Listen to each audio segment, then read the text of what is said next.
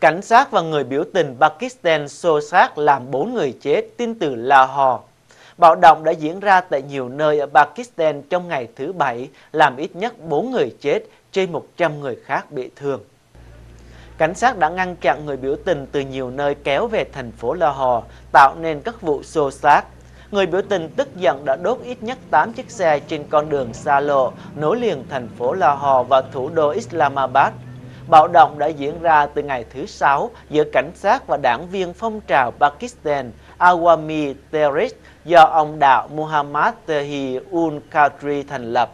Ông Qadri kêu gọi xuống đường lớn ở Lahore vào ngày Chủ nhật này.